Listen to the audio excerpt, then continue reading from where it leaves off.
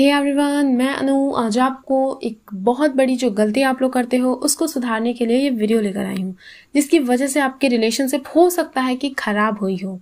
In fact अगर आप ये काम करोगे, जो मैं अभी डिस्कस करने वाली हूँ तो उसकी वजह से आपकी रिलेशनशिप खराब हो जाएगी। तो आपको ये काम नहीं करना है। इसीलिए मैं वीडियो के माध्यम से आपको बता रही हूँ, ताकि अगर आप करते भी हो तो आप संभल जाओ।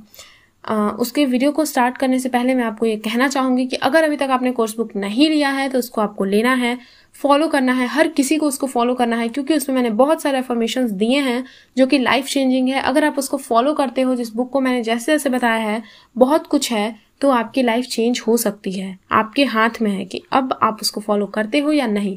बहुत से लोगों ने लिया है फॉलो किया है तो उनकी लाइफ में बड़े बड़े चेंजेस आए हैं किसी की जैसे ससुराल की प्रॉब्लम है, वो खत्म हुई है, किसी ने मनी मैनिफेस्ट किया है, किसी ने जॉब मैनिफेस्ट किया है तो आपको भी ये करना है। कोर्स बुक के लिए आपको मुझे मेल करना है या फिर इंस्टाग्राम पे मुझे मैसेज करना है, ठीक है?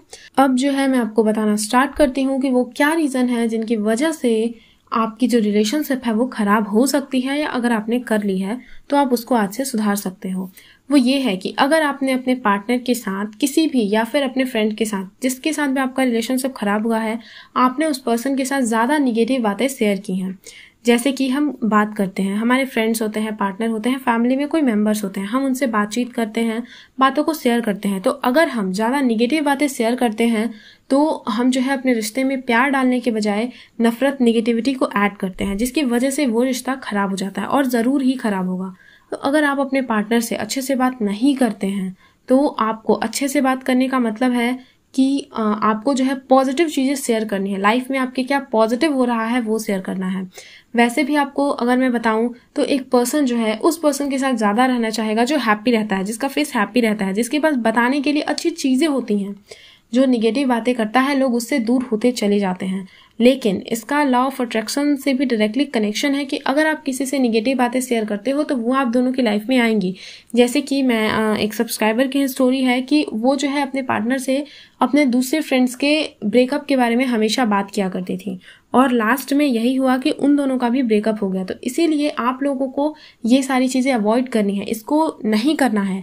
और अगर इस रीज़न की वजह से आपका रिश्ता खराब हुआ भी है तो आपको ये विजुअलाइज करना चाहिए कि आप अपने पार्टनर से फ्रेंड से या किसी से, जिससे आपका रिश्ता खराब हुआ है, अच्छी बातें ज़्यादा शेयर कर रहे हो, ज़्यादा प्यार शेयर कर रहे हो। या फिर आपको मैं एक और टेक्निक बता दूँ कि आप हर रोज़ दो मिनट या तीन मिनट ये विजुअलाइज करो कि आप मतलब आपकी लाइफ में जो भी अच्छा हो रहा है, आप विजुअलाइज करो कि आप उस पर्सन को बता रहे हो। जैसे कि आप आज उठे, आपके साथ कुछ अच्छा हुआ तो सोने से पहले विजुअलाइज करो कि वो बात आपने अपने पार्टनर को या फिर अपने फ्रेंड को, जिससे भी आपको रिश्ता सही करना है, उसको बताई।